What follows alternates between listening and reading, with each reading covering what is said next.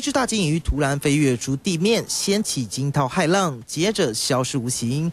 开发影片的团队 Magic Leap 就是用 AR 扩增实境技术，打造出神奇效果。其实 Magic Leap 其实是一个呃蛮神秘的一家新创事业哦，它其实成立在二零一零年，那近期其实发展非常的迅速，也吸引到很多国际的品牌大厂的一个入股。精湛技术、神秘的作风，即使现在没有产品，但也吸引一票科技大咖争相入股。光是在美国的股东就有 Google、高通，而在中国也有阿里巴巴，总募资额超过十四亿美元，估值高达四十亿美元，创下。